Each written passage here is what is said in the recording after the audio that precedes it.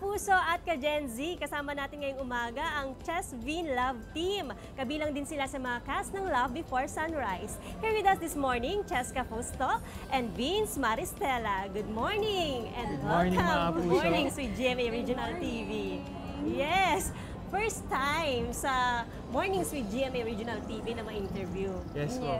Okay, inaabangan talaga kayo sa Love Before Sunrise. Ang tanong ng marami, paano ba kayo naghahanda sa mga heavy drama? Ah, ako, siguro isa sa mga preparation ko is syempre, kailangan memorize talaga yung lines. Mm-mm. The day before, minimemorize ko na talaga siya without emotions. Okay. And then, pagdating na sa set, doon ko na pinapakiramdaman yung sarili ko. And then, tinatansya ko na din yung mga katrabaho ko. Parang kung ano yung may relate ko sa eksena. Ganun na. Tapos, kailangan din kasi para mas mapadali yung trabaho, kailangan close ka din sa mga katrabaho mo. Mm-mm. Makakatulong ng malaki yun. Okay, how about Cheska? Also, um, when it comes to heavy drama kasi hindi siya madali eh. Kasi what if on that day masaya ka pala? Mm-mm. So dapat um, heavy investment din when it comes to the emotion, emotional obligation mo as an actor. And siguro focus talaga, napaka-importante na mag-focus ka kasi madali tayong mag-switch ng lane with our mind. So, ayun, dapat peace of mind, focus, para handa ka sa ano, Eksena. performance. Eksena. correct. Cheska, ikaw naman ay gumaganap bilang kapatid ni Bea Alonso dito. Kwentuhan mo naman kami sa karakter mo sa Love Before Sunrise. Ayan ako, um, ako po si Mutia Domingo. Ako yung gumaganap bilang Mutia Domingo. Ah, kapatid ko si Ate Stella Domingo which is played by Miss Bea Alonzo.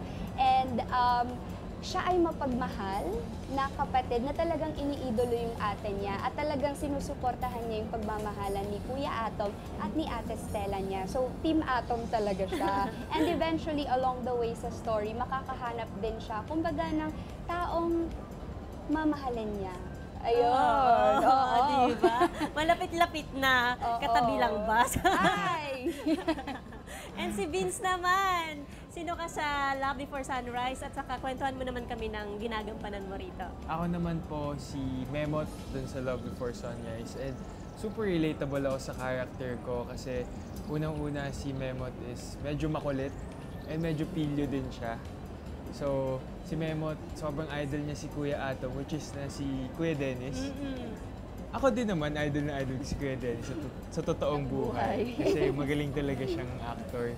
And isa din yon And syempre, isa din siya sum- sumusuporta sa pagmamahala ni Ate Stella and ni Kuya Atom. Oo, parang ano kayo dito, Team Stella and Atom. Oo, Yes, yung Stella. Atom kami. Oo. Speaking of Stella and Atom, Dennis Trillo and Bea Alonso, paano ba sila katrabaho? Kasi top caliber actor and actress na yun eh. Vince, Ako naman, sobrang gaan lang sa pakiramdam na makatrabaho si Kuya Dennis kasi first day pa lang ng taping namin, napakagaan gagad ng mga eksena namin. And syempre, bago kami mag-take, minsan na- nagkukwentuhan din kami.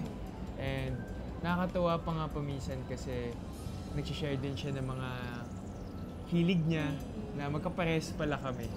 Kaya ayun. So, sobrang saya lang talaga sa set and sobrang gaan lang sa pakiramdam. okay, how about Cheska?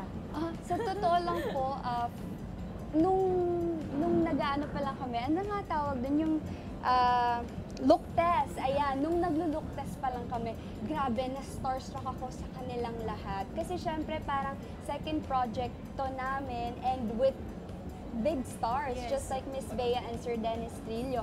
Ayan, Miss Andrea Torres, Sir Sid Lucero.